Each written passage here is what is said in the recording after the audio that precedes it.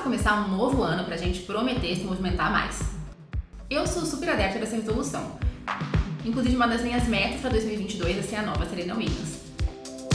Mas eu aposto que entre os planos de melhorar sua resistência física, cuidar da saúde e ficar ainda mais gostosa, você não pretende fazer xixi na calça.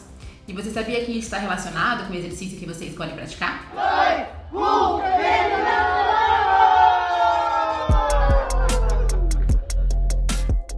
lembra de colocar o assoalho pélvico na nossa lista de prioridades. Eu mesma nunca fiz isso. É uma parte negligenciada do nosso corpo.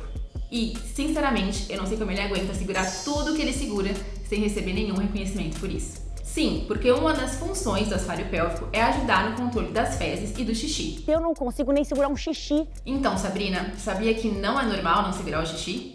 E para vocês terem uma ideia de como isso é mais comum do que a gente imagina, mais de 70% das mulheres no mundo têm incontinência urinária. E, gente, só porque é comum não quer dizer que é normal. Por exemplo, chorar no trabalho é comum, mas não é normal. Levar ghost de boy é comum, mas não é normal. Ter dor no sexo é comum, mas também não é normal. E essa é mais uma das situações em que o assoalho pélvico pode estar envolvido. Esse músculo duro vai prejudicar é, a, a, penetração, né, seja de pênis ou de dedo ou de brinquedos, enfim, então vai fazer uma penetração dolorosa, isso não é legal. Também vai comprimir os vasos, então também vai prejudicar a circulação na região e diminuir a lubrificação, né? Então também não é legal. E por outro lado, um músculo flácido, né, um músculo fraco, vai deixar esse canal vaginal flácido. Então vai diminuir a sensação de atrito, de fricção ali, então pode prejudicar o prazer. Como o assoalho pélvico segura o intestino, o útero e a bexiga, ele tem ligação com todos esses sistemas. Por exemplo, na gestação, é o assoalho pélvico que dá suporte para o útero.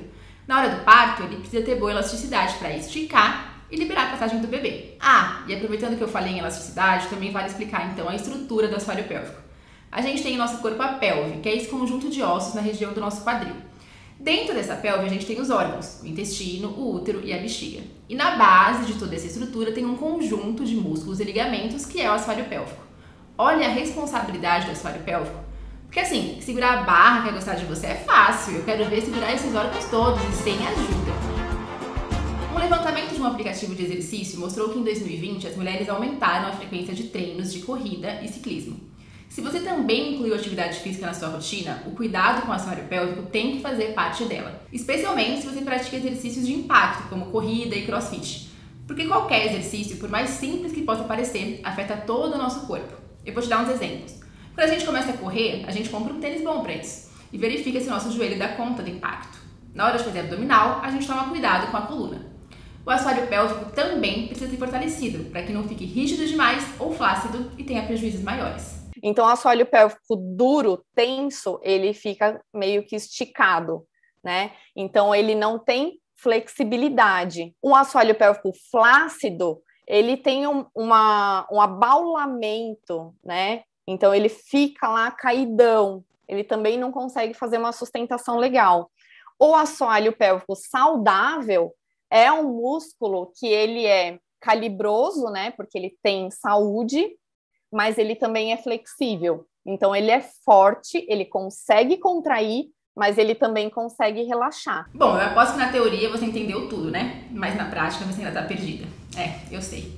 Foi assim que algumas minas aqui da redação ficaram quando foram apresentadas ao assoalho pélvico. Isso sem falar na roteirista desse programa que acha que a solução para tudo é banir o exercício físico da vida das pessoas. Assim, evita de gastar o corpo. Mas calma, você não precisa abandonar o exercício físico da sua vida depois desse vídeo. Até porque a gente precisa de um corpo forte e resistente para aguentar mais esse ano de Brasil, não é mesmo? A gente está começando um novo ano e cuidar de si é fundamental para que a gente possa ter energia para lutar pelos nossos direitos. É um compromisso das Minas te ajudar nessas duas coisas e você pode nos apoiar de diversas formas pelo Catarse. Acesse lá porque tem várias recompensas incríveis, como essa camiseta que eu tô vestindo. Agora, no embalo dos movimentos Contrai, contrai, contrai, ai, ai, contrai. Contrai, segura. Um, dois, ninguém imagina o que eu estou fazendo. Três. Você pode fazer sentada, ó. Eu tô agora fazendo isso. E não se sinta culpada por descobrir que não tinha noção do quanto é importante manter esse músculo saudável. Ninguém fala isso pra gente. O assunto ainda é tabu. E a gente sabe o porquê. Falar de assoalho pélvico é falar de funções intestinais, coisas que muitas mulheres ainda se sentem constrangidas em dizer. Além disso, falar de assoalho pélvico é falar de sexualidade, de prazer ou de dor na relação.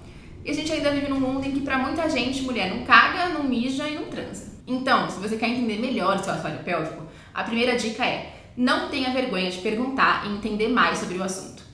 A segunda coisa é rebolar. Isso mesmo. Na hora de aquecer o corpo para fazer exercício físico, você não mexe os ombros, o pescoço? Começa a mexer essa raba também. Vocês pensaram que eu não ia rebolar minha bunda hoje, né? Outra dica é optar por treinos que trabalhem a favor do assoalho pélvico e não só contra ele.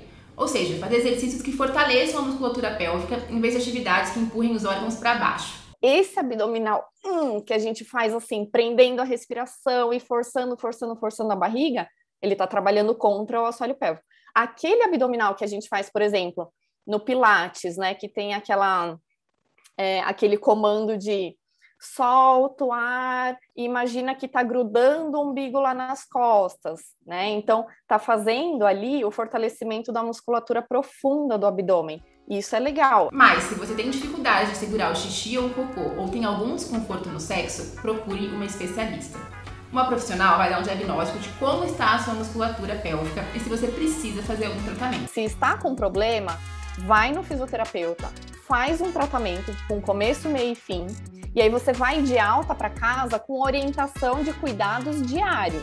Ah, tem que fazer fortalecimento todo dia? Tem, assim como tem que escovar o dente todo dia. Em 2022, coloque os cuidados com a assoalho pélvico na sua rotina. Bem melhor apostar nisso do que ir pra academia sentir cheiro de macho suado que não sabe se malha ou se fica se admirando. É, que é bodybuilder, p***! É isso, se gostou desse vídeo, se inscreva no canal, envie pras amigas e se puder, apoie o trabalho da revista Asmina. A gente depende de vocês para seguir. Um beijo e até a próxima!